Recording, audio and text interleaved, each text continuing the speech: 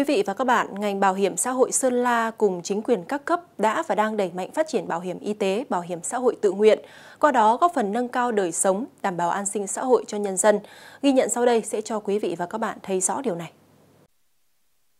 Gia đình anh Và A vừa ở bản Trà Lại B, xã Co Mạ, huyện Thuận Châu, Sơn La, vốn thuộc diện khó khăn.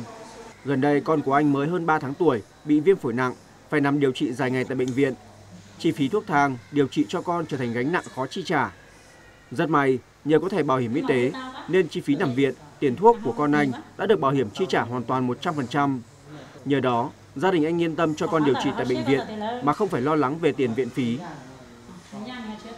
Con của tôi là bị viêm phổi ờ, nặng thì cũng xuống đây điều trị thì cũng ờ, được ờ, các bác sĩ chăm sóc nhiệt tình và cũng chi phí điều trị đây cũng rất là cao và cũng may là có bảo hiểm người ta hỗ trợ 100% nên là cũng đỡ rất là nhiều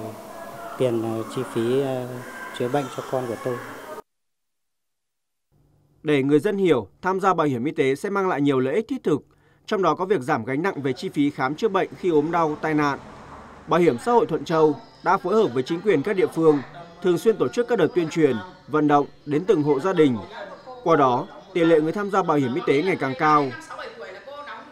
Ờ, khi ốm đau thì đã có bảo hiểm y tế ờ, vào viện các thứ là không mất tiền. Ờ, ốm đau nằm viện cả tháng thì đã có viện phí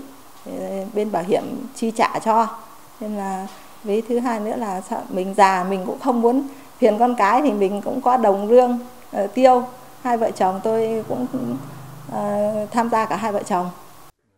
Để ngày càng có nhiều người được bảo vệ trong mạng lưới an sinh xã hội được quỹ bảo hiểm y tế thanh toán chi phí khi không may ốm đau, bệnh tật phải nằm viện.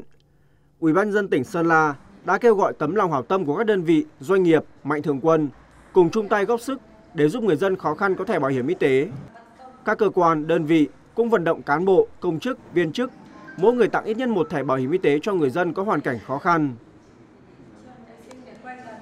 Đẩy mạnh công tác tuyên truyền vận động người dân tham gia bảo hiểm xã hội y tế, làm tốt công tác xã hội hóa, tặng sổ bảo hiểm xã hội bảo hiểm tế cho người có hoàn cảnh khó khăn trên địa bàn và tiếp tục thực hiện tốt cải cách thủ tục hành chính, giao dịch điện tử và hồ sơ dịch vụ công trực tuyến tạo điều kiện thuận lợi nhất cho người dân tổ chức khi tham gia đóng cũng như là giải quyết các chế độ bảo hiểm xã hội bảo hiểm tế. Thực tiễn những năm qua đã chứng minh việc tích cực tham gia bảo hiểm xã hội và bảo hiểm y tế đã mang lại nhiều lợi ích thiết thực cho người dân đây cũng được xem là hai trụ cột quan trọng trong hệ thống an sinh xã hội của Đảng và Nhà nước. Từ lẽ đó, mỗi người dân cần tích cực tham gia bảo hiểm y tế, bảo hiểm xã hội tự nguyện nhằm đảm bảo an sinh xã hội, từng bước nâng cao chất lượng cuộc sống. Sáng nay, Đại hội đại biểu các dân tộc thiểu số tỉnh Kiên Giang lần thứ tư năm 2024 tiến hành ngày làm việc à, thứ hai với nhiều nội dung quan trọng. Với chủ đề Cộng đồng các dân tộc thiểu số tỉnh Kiên Giang đoàn kết, quyết tâm đẩy mạnh chiến lược chuyển đổi số, góp phần phát huy lợi thế, tiềm năng để hội nhập và phát triển. Đại hội đại biểu các dân tộc thiểu số tỉnh lần thứ tư năm 2024 quyết tâm thực hiện có hiệu quả các chương trình, chính sách phát triển các lĩnh vực, thi đua làm giàu, xóa đói giảm nghèo, nâng cao đời sống của đồng bào vùng dân tộc thiểu số, góp phần phát triển kinh tế, văn hóa xã hội của tỉnh, đạt tốc độ tăng trưởng kinh tế hàng năm từ 7% trở lên.